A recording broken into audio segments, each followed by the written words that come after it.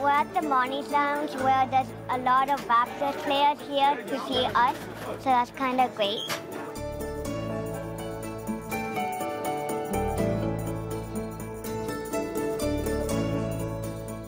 These are from my brothers, and I got this sweater so they can sign it, because then I can have a memory of them that they came.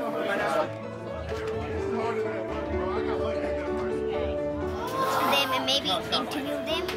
Yeah. What are you gonna ask them? That's great. James. Captain.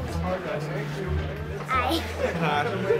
Why are you here at SickKids? Um, show love, spread love, man. We want to be here, you know, show our love to the community like the community shows love.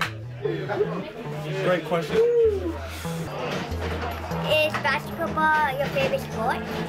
Yes, it is. Yes, it is. Give me a give me a new life. Do you have a girlfriend? Nah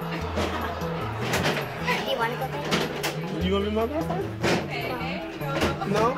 Well, then, no, I'm good then.